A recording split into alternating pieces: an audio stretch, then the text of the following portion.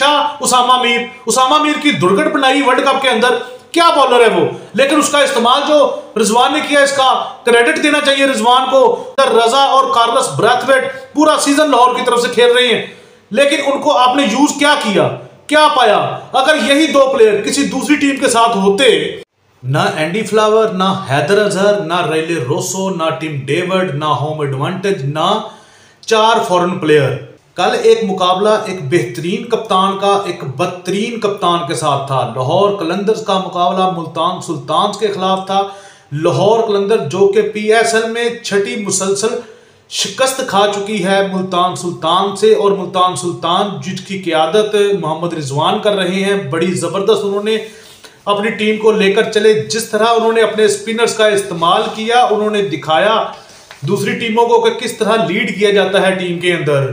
खुशदिल शाह फैसल और आफ्ताब जैसे ना तजर्बाकार बॉलरों से उन्होंने अपनी टीम को जितवा दिया। इन बॉलर्स को कोई दूसरी टीम अपनी टीम में रखने के लिए भी पसंद नहीं करती, लेकिन मोहम्मद रिजवान ने अपनी कप्तानी के साथ इन बॉलरों को एक ऑर्डनरी बॉलरों को एक एक्स्ट्रा ऑर्डनरी पोजीशन दी, उनसे बॉलिंग करवाई और अपनी टीम के लिए एक मैच जीत गए। उसामा मीर को पहले ओवर में 16 रन पड़ने के बावजूद भी छह विकेटें दिलवाई।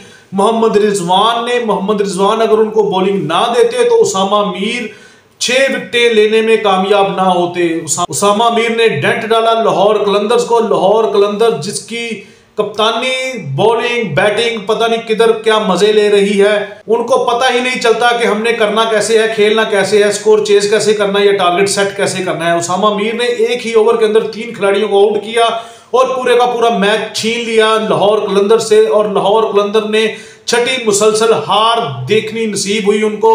और ये बहुत बड़ा, बहुत बड़ी अचीवमेंट कहते हैं लाहौर कलंदर्स वाले कि हमें छठी हार नसीब हुई है और हम ये अचीव करने में कामयाब हो गए हैं और वो ये तो कर रही हैं कि अगली चार जो मैचेस हैं, उनमें भी एक चार हारे वो देखेंगी और ये एक रिकॉर्ड बनाएँगे लाहौर कलंदर्स वाले के 10 के 10 मैचेस हार कर वो टूर्नामेंट से नीचे से पहली पोजीशन पर इस टूर्नामेंट को ख़त्म करेंगे और आकब जवेद और शहीन शाह आफरीदी, ये बड़े मुसरत है इस कारकर्दगी को लेकर, इसको देखकर।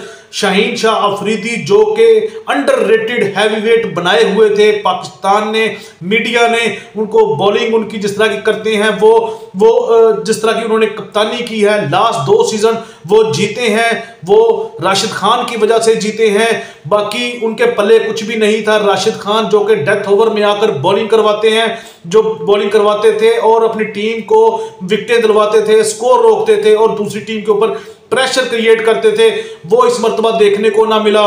राशिद खान इस मरतबा लाहौर कलंदर का हिस्सा ना बन सके और वो अनफिट है और नहीं आए पाकिस्तान। पीएसएल खेलने के लिए वो अफ़गानिस्तान की तरफ़ से नहीं खेल रहे। लेकिन शहीन शाह अफरीदी का कच्चा चट्ठा खुलकर सामने आ गया है। शहीन शाह अफरीदी, ना वो बॉलर ना वो बैट्समैन ना वो कप्तान, ना तीनों में, ना तेरों में ढूंढते फिरे, बटेरों में शहीन शाह अफरीदी का वो हिसाब हो गया। शहीन शाह अफरीदी और हारिस रफ जो कि मेन पेस अटैक था लाहौर कलंदर का, जैसे ही प्रेशर पड़ता है, ये दोनों में से एक या दोनों ही अनफिट होकर बाहर चले जाते हैं। इंडिया ने जिस तरह एशिया कप के अंदर इन बॉलर्स की दुर्घट बनाई थी, के राहुल और विराट कोहली ने, अभी तक वो इस प्रेशर से नहीं निकल सके। ना शहीन शाह अफरीदी, ना हारिस रऊफ, ये अनफिट ही रहते हैं। जब टीम को इनकी ज़रूरत पड़ती है, ये अनफिट होकर बाहर चले जाते हैं और अपने ऊपर ज़िम्मेदारी लेते भी नहीं हैं और ना ये लेने की कोशिश करते हैं।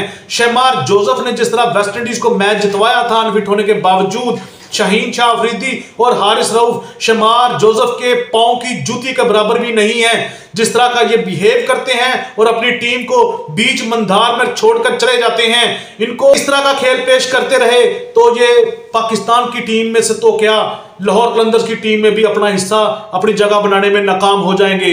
अब वर्ल्ड कप आ रहा है पीएसएल के बाद, वर्ल्ड कप खेलना पाकिस्तान की टीम ने, और पाकिस्तान की क्यादत कौन कर रहा है? जिसने छह मुसलसल शिकस्तें देख ली हैं पीएसएल के अंदर, और उसको हमने अंडररेटेड हैवी वेट बनाया हुआ था और बनाया हुआ है। उसने क्यादत कर रही है पाकिस्तान की। और डर ये लग रहा है कि पाकिस्तान की सूरत हाल वर्ल्ड कप के अंदर भी पीएसएल में जो लाहौर कलंदर की सूरत हाल है, उस तरह की बिल्कुल ना हो। डर यही लग रहा है कि इस तरह की ही सिचुएशन होगी, जिस तरह की कप्तानी करता है। इसको बैटिंग ऑर्डर का नहीं पता। खुद चार नंबर पे आ गया कल बैटिंग करने के लिए। भी तू माइक हस्सी है। या तू क्या है? युवराज सिंह है तू? तू जो आ गया चार नंबर पर बैटिंग करने के लिए ना तेरे से बल्ला पकड़ा जाता है, ना तेरे से बॉलिंग करवाई जाती है और बैटिंग की बारी आती है तो बाकी जिस तरह कोई मोहल्ले की और छोटी जो लोकल टीमें होती हैं, उनमें से प्लेयर जाते हैं, भाग के बैट लेके, और क्रीज के ऊपर के मैं बैटिंग आ गई, मेरी बैटिंग आ गई। उस तरह का बिहेव किया तूने, और बॉलिंग की जब बारी आती है तो बॉलिंग तेरे से करवाई नहीं जाती। जब फील्डिंग सेट की बारी आती है तुझे ये नहीं पता कि मैंने फील्डर किधर खड़ा करना है, तूने अपने प्लेयर को इस्तेमाल कैसे करना है, तुझे यही नहीं पता। सिकंदर रजा और कार्लस ब्रैथवेट पूरा सीज़न लाहौर की तरफ़ से खेल रहे हैं। लेकिन उनको आपने यूज़ क्या किया? क्या पाया? अगर यही दो प्लेयर किसी दूसरी टीम के साथ होते, रिजवान के पास होते तो रिजवान आपको बताता कि इनको प्लेयर को कैसे यूज़ करना है। कार्लस ब्रैथवेट से बड़ा, आप लाहौर कलंदर में कोई प्लेयर है जो कि हिटर हो और आप उससे पहले खुद चले जाते हो बैटिंग करने के लिए, उसको आपने फेंका हुआ है सातवें, आठवें नंबर के ऊपर। क्या आपको इतनी तमीज नहीं है? क्या आपको इतनी सेंस नहीं है कि किस तरह किसी प्लेयर को यूज़ करते हैं? और प्लेयर प्लेयर को भेज दिया आपने आठ नंबर के ऊपर जाकर वो क्या करेगा उधर, वो क्या गन्ने छुपेगा उधर जाके। चार करोड़ की आबादी वाला शहर जिसकी टीम लाहौर कलंदर है जितनी बड़ी आबादी है, उतना ही तूने जलील करवा दिया शाहीन शाह अफरीदी। तुझे ना कप्तानी करनी आती है तुझे कप्तानी के स्पेलिंग भी नहीं आते। टॉस तेरे से नहीं होता, कप्तानी तेरे से नहीं होती बॉलिंग तेरे से नहीं होती बैटिंग तेरे से नहीं होती फ़ील्ड तेरे से सेट नहीं होती। क्या करना माँगता है तू? क्या तेरी टीम में जगह है? पहले ये सोचो। क्या लाहौर कलंदर की टीम में शाहीन शाह अफरीदी की जगह है? लाहौर कलंदर के ऊपर एक बहुत बड़ा एहसान हो गया, जो कि हारिस रऊफ अनफिट होकर टीम से बाहर हो गया। अगर हारिस रऊफ टीम के अंदर होता तो 50 रन से कम किसी मैच में उसने चार ओवर में स्कोर नहीं दिया। सिर्फ़ एक मैच में उसने छह की एवरेज से कम स्कोर खाया और वो अनफिट होकर बाहर चला गया कि उसके ऊपर ब्लेम ना आए, ज़िम्मेदारी ना आ जाए। ज़िम्मेदारी लेने की कोई कोशिश नहीं करता।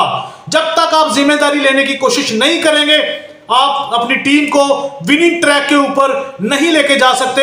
और पाकिस्तान का जो फ्यूचर है वर्ल्ड कप के अंदर बरक्स बिल्कुल भी नहीं हो सकता, जो कि लाहौर कलंदर्स की परफॉर्मेंस है पीएसएल के अंदर। रिजवान को जितना मर्ज़ी आप क्रिटिसाइज करें, लेकिन रिजवान की जो कप्तानी है, मुल्तान सुल्तान की टीम ने हर मरतबा first second first second number के ऊपर फिनिश किया है मुल्तान की टीम ने।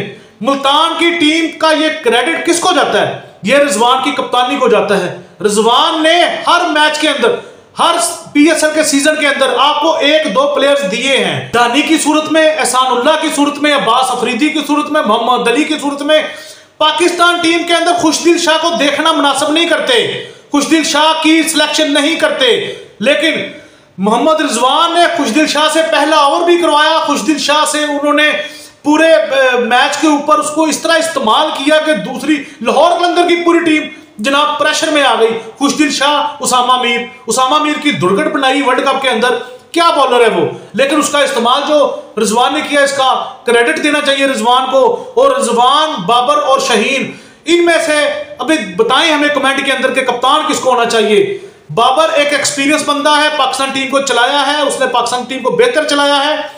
सिर्फ़ और सिर्फ़ उसके जो बंदे थे, वो फॉर्म में नहीं थे, जो कि उसको मिडल ओवर्स में विकेट दिलाते थे, शदाब खान, हारिस रऊफ, ये दोनों अनफिट हो गए तो बाबर का, बाबर नंगा हो गया कि वो किस तरह का कप्तान है। लेकिन फिर भी वो टीम को लेकर चलता रहा और फिर भी इससे तो बेहतर लेकर चल रहा था। रिजवान की कप्तानी हमने मुल्तान सुल्तान में देखी। मुल्तान सुल्तान ने अपनी टीम को, रिजवान ने अपनी टीम को हर सीज़न के अंदर पहली दो पोजीशनों में फिनिश किया है। शहीन शाह अफरीदी न्यूजीलैंड से जुतियाँ खा के आया, चार एक से हार के आया सीरीज़। और छह मैचेस खेल चुका है पीएसएल के, और छह के छह में इसको नाकामी का सामना देखना पड़ा है। समझ नहीं आती कि इसको करना क्या है। पता नहीं इसका दिमाग किधर है। पता नहीं इसको आकब जुवेद क्या कर रहा है पीछे बैठा। लाहौर की मैनेजमेंट चेंज होनी चाहिए। लाहौर का कप्तान चेंज होना चाहिए। शहीन शाह अफरीदी को टीम में कप्तान तो क्या टीम के अंदर भी इसको रेस्ट करवाएँ शहीन शाह अफरीदी को। दूसरे किसी प्लेयर को मौका दें। शाहीन शाह अफरीदी से कप्तानी लें। खुदा का वास्ता है। मौसम नकवी साहब, आपसे गुजारिश की जाती है। हाथ जोड़ के आपसे रिक्वेस्ट है कि शहीन शाह अफरीदी को हमने देख लिया पाकिस्तान की कप्तानी ये नहीं कर सकता। पाकिस्तान की कप्तानी से इसको हटाया जाए। रिजवान को लेकर आए। बाबर आज़म को दोबारा दे दे कप्तानी। लेकिन आपका ये हम शुक्रिया अदा करेंगे। आपसे गुजारिश करते हैं। अगर आप इसको कप्तानी से हटाकर इसको पहले भेजें डोमेस्टिक क्रिकेट खेलने के लिए। अगर उधर से परफॉर्म करता है तो इसको टीम में लेके आए। नहीं तो इसको टीम के अंदर ना लेके आए। पाकिस्तान बगैर शहीन शाह अफरीदी के जाए वर्ल्ड कप खेलने के लिए, और शहीन शाह अफरीदी के बगैर जाने से पाकिस्तान की टीम कुछ ना कुछ कर आएगी। शहीन शाह अफरीदी पाकिस्तान टीम के अंदर अब काबिल कबूल नहीं है और उसको आपने कप्तान बनाया हुआ है। तो दोस्तों, आप हमें कमेंट में ज़रूर बताइएगा शहीन शाह अफरीदी, रिजवान, बाबर, इनमें से पाकिस्तान टीम का कप्तान किसको होना चाहिए? मोहम्मद रिजवान ने जिस तरह की परफॉर्मेंस दी है पीएसएल के अंदर, उनके लिए क्लैप तो बनता है भाई। क्लैप और रिजवान को हम मुबारकबाद देते हैं कि जिस तरह वो टीम को लीड कर रहे हैं। दोस्तों, आपको हमारा ये प्रोग्राम कैसा लगा? आप हमें कमेंट में ज़रूर बताइएगा। नेक्स्ट वीडियो में दोबारा आपसे मुलाकात होगी। तब तक के लिए अल्लाह हाफिज़।